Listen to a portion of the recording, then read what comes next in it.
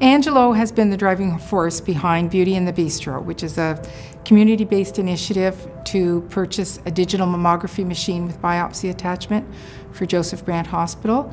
Our goal was to achieve $450,000 over three years with zero cost. So every penny went to the machine, and we achieved that goal. It's in operation at the hospital now.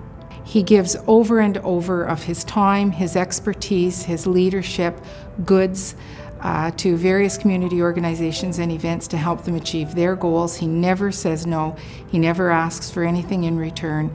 His leadership is evident in everything he does. He's just made Burlington a great place. Mybrit works with the North Burlington Community Dinners because she likes to work together. It's a collaboration of churches and community organizations. And she sees the effect and the impact that it has in the community. She plans a dinner not knowing how many will come, what food she'll have, and who will be coming to help.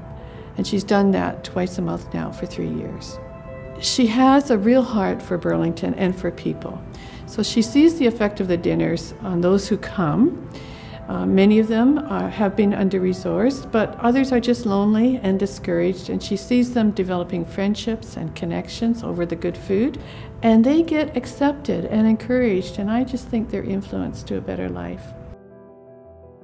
Ron joined our board of directors uh, July 2014, and on August the 4th, Burlington received 191 millimeters of rain in less than four hours, which was really categorized as our 100, uh, 100 year storm.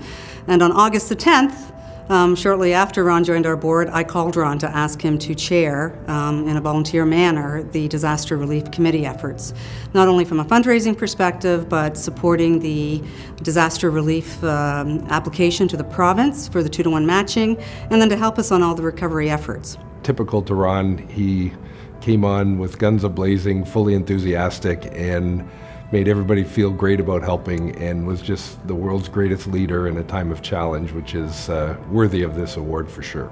Ron dedicated over 700 hours of volunteer time to support the flood relief efforts. And as, as Jeff said, his leadership and his, I think his mobilization, um, he himself, himself really caused a movement uh, to happen uh, in, the, in the city and to uh, support flood victims in, in, in great need at a, at a time that um, was quite shocking for the entire community. So, you know, there, there are often silver linings in, in disasters and devastation, and Ron uh, is and was definitely a silver lining.